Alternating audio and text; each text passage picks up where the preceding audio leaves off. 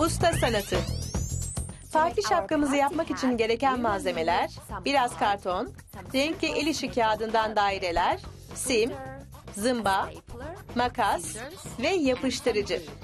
Öncelikle kartonu başınıza sararak üst üste geldiği kısmı işaretlemeli ve ölçü almalısınız. Sonrası ise asıl eğlence, süsleme. Ben öncelikle mutlu yıllar yazacağım. Siz istediğiniz şekilde değiştirebilirsiniz. Şimdi zımbayı ve makası kullanarak şapkayı koni şekline getiriyoruz.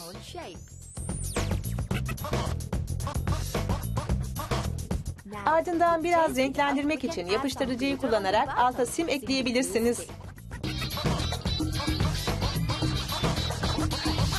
Bu da tamamlandığında öncesinde hazırladığımız ufak daireleri alarak bu şekilde spiral kesiyoruz. Hepsi farklı büyüklükte olunca harika görünüyor.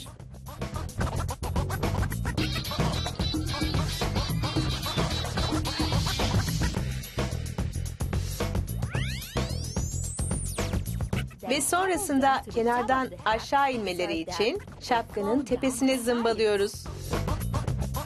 Ne havalı ama.